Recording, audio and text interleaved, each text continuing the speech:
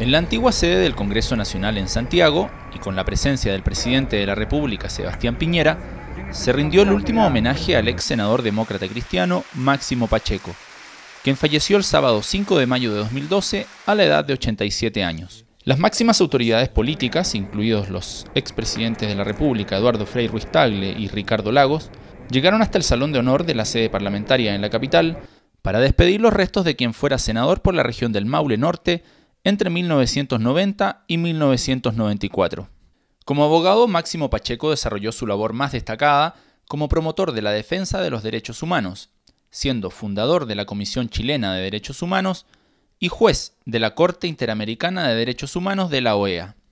Abogado y académico, diplomático y escritor, pensador y filósofo del derecho, desplegó y entregó sus potencialidades al servicio público, a la acción política y al trabajo legislativo.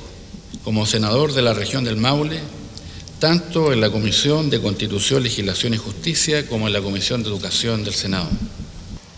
Por la lucha que él dio precisamente por la defensa del hombre y del ser humano, la muerte de don Máximo Pacheco es una pérdida inestimable para quienes amamos la República y la fuerza de las instituciones democráticas.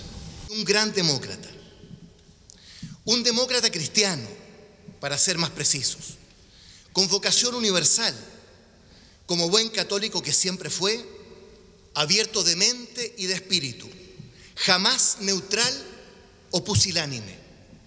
Querido don Máximo, aquí estamos sus amigos y camaradas.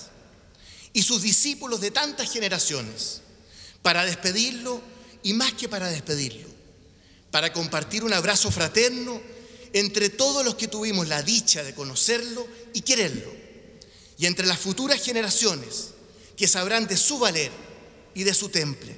Máximo Pacheco fue director de la Academia Jurídica y a lo largo de su vida desarrolló una dilatada labor como académico y autor de más de 16 libros. Su último cargo público fue el de embajador de Chile en el Vaticano, entre los años 2001 y 2007.